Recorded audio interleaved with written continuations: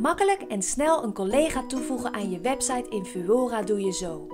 Om een collega toe te voegen aan je website moet deze persoon een eigen Vuora-account hebben. Dit hoeft geen betaald account te zijn. Ga naar het dashboard van de website waaraan je een collega wilt toevoegen. Klik in het menu op Instellingen en vervolgens op Collega toevoegen. Vul daar het e-mailadres in van de persoon die je wilt toevoegen. Dit moet hetzelfde e-mailadres zijn die deze persoon gebruikt voor het Vuora-account. Kies daarna welke rol je hem of haar wilt toekennen. Kies voor de rol beheerder als je wilt dat diegene medebeheerder wordt. Klik vervolgens op Bestaande gebruiker toevoegen en de uitnodiging wordt verstuurd.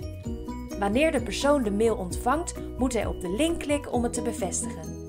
Nu kan deze persoon wanneer hij inlogt de website beheren en aanpassen.